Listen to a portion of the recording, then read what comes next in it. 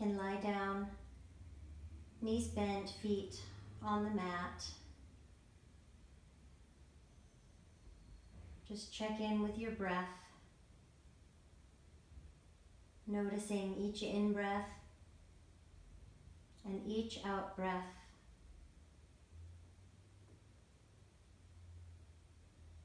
Notice where you feel the breath in your body. Maybe the belly, maybe the rib cage, maybe coming in and out of your nostrils.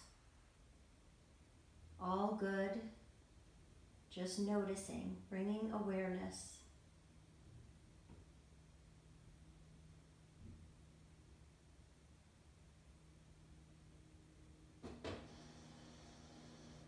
And bring your attention now to the hip crease, right where you fold. The hip crease area. And just with your imagination, think about that area softening a little bit. Imagine a little extra space And breathe into that area as if you could direct your breath right into the hip crease.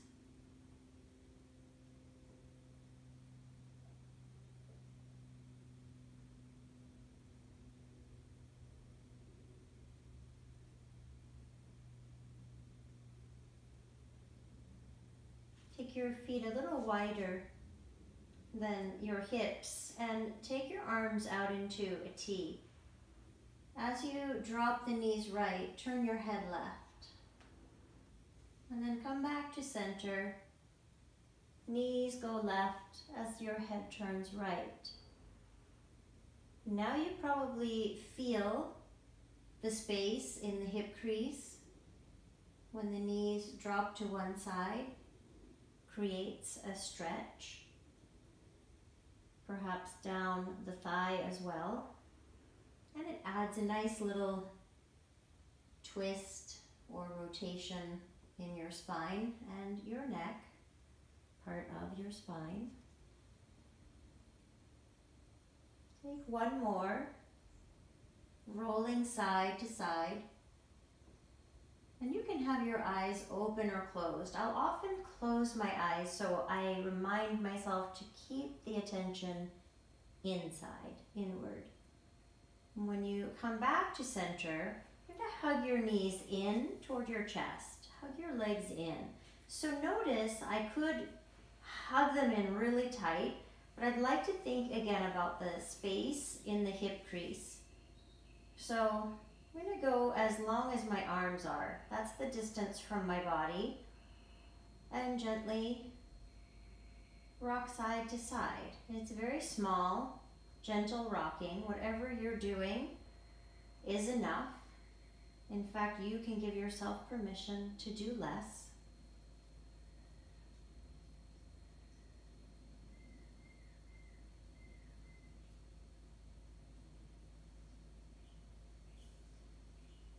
Notice that your shoulders and your face stay relaxed.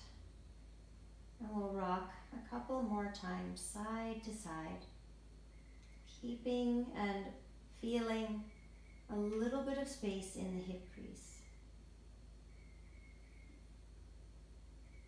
And come back to center, release the feet.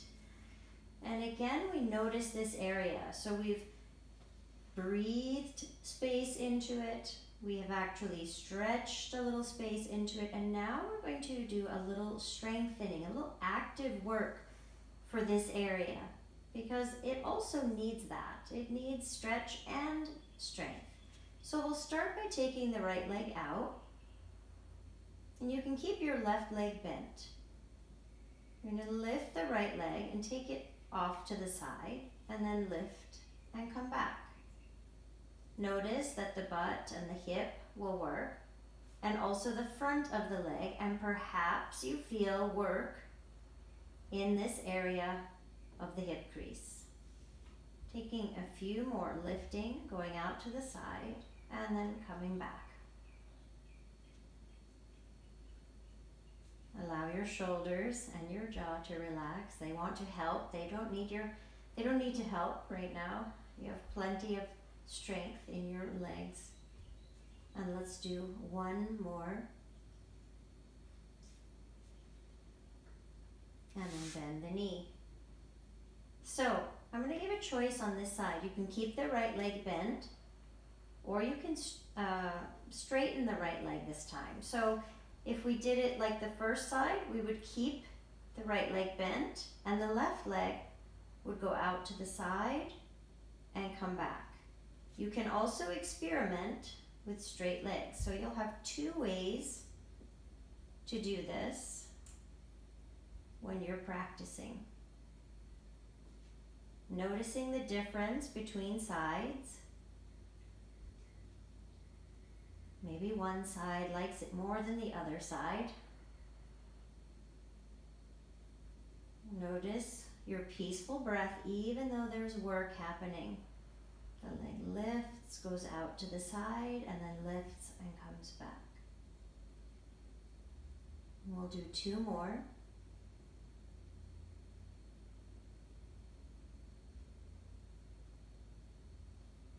And then come back. And this time just leave the legs straight. Completely release the legs.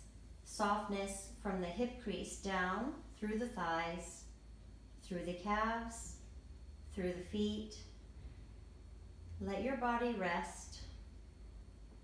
Some awareness of our hip flexors today, stretching them and encouraging some strength there as well. Rest as long as you'd like here.